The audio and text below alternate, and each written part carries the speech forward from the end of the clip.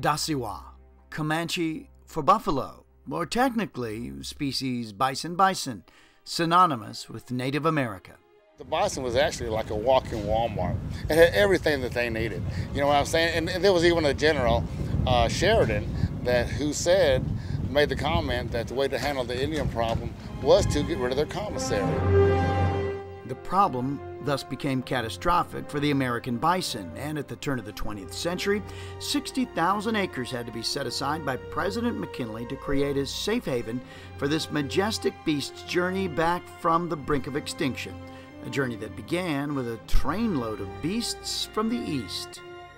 Because there weren't any bison around here. Out of the 60 million bison that we had at one time, there was only about 550 left. And most of those were on ranches and they were on uh, in zoos. And so we actually had to go to the Bronx Zoo in New York to get 15 bison to bring them back here, back in 1907, which is the year Oklahoma got statehood. There's a bison here. This is a better view of him shedding his, shedding his hair.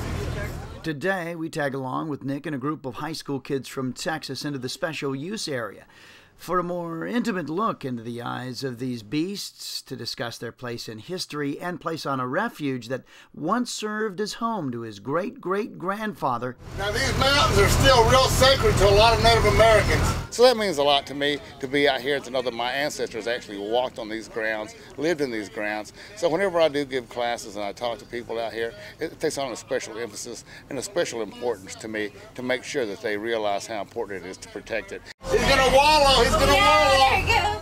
But uh, you know, it's not just the bison are looking into their eyes, but also it's the plants and the trees. You know, I tell everyone, and a good friend of mine, uh, she always says to go out and tell a creek or a stream or a pond that you love it. You know what I'm saying? And I tell you what, I go through here all the time and I talk to these trees and these plants and these grasses, and I know it sounds crazy, but I love them very much.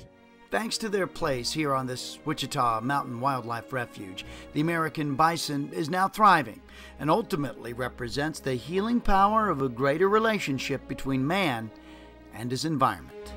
It's almost a spiritual thing to me to protect the animals and this beautiful place. Sure.